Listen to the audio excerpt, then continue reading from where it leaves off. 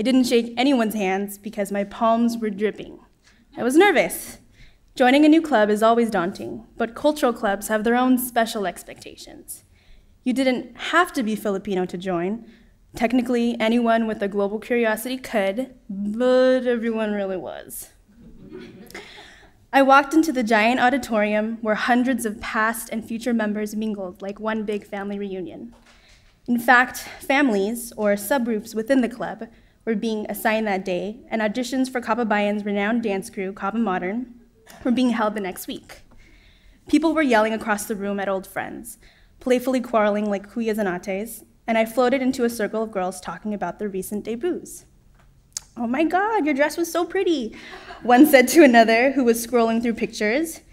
Yeah, but I wish I'd picked different people for my court. All my friends flaked on the practices.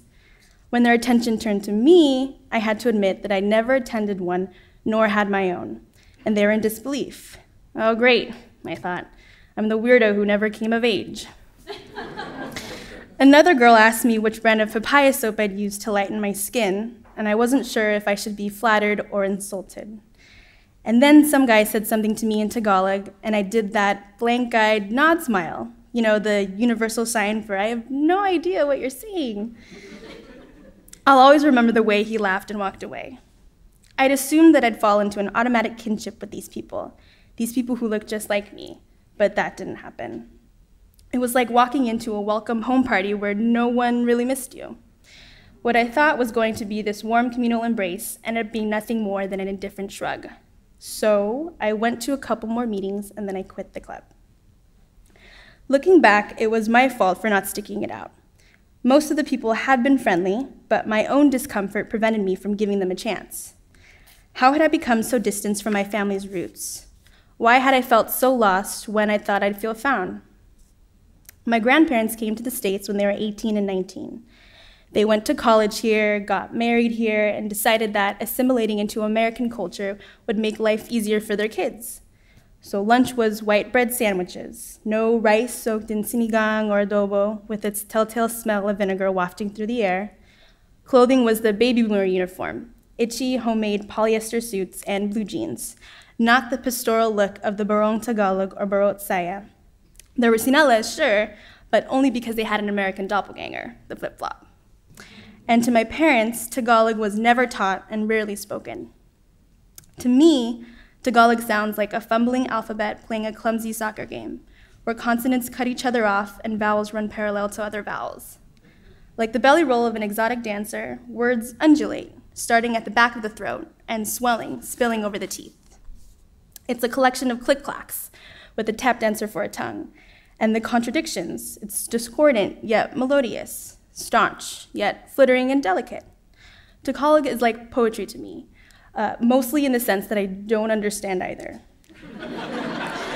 but above all, it has identity and familiarity in culture, something that, as a third generation Filipina American, I deeply, deeply desired.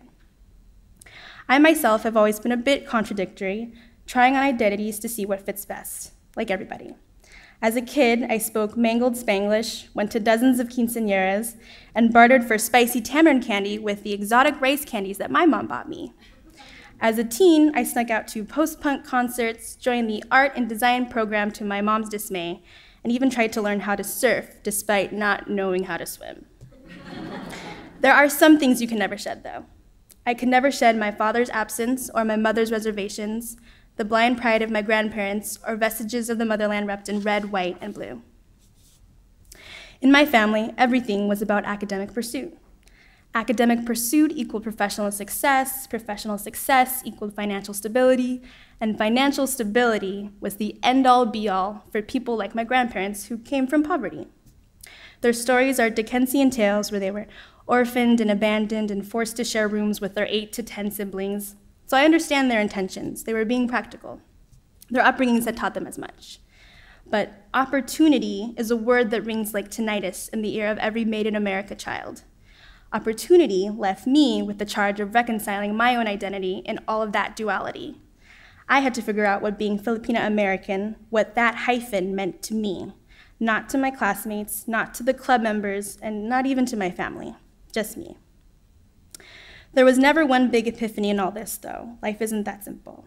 It's more of a gradual succession of mini epiphanies, like packing balikbayan boxes every Christmas with clothes and canned coffee and spam, even though I'd never met the relatives we're sending them to, or writing letters to my cousin Karen in Calasiao, Pangasinan, or learning how to cook cassava cake and pancit palabok from my strong, feisty grandma who lost so much as a child that she consequently believes she has to fight for everything. It's the fact that my grandpa was the only one of 10 siblings to come to the US to get an education, which allowed me to go to college and discover Kababayan in the first place. And maybe, most importantly, it was learning to appreciate the complexity of my own narrative, so that one day, hopefully, my own kids will feel at home no matter where they go.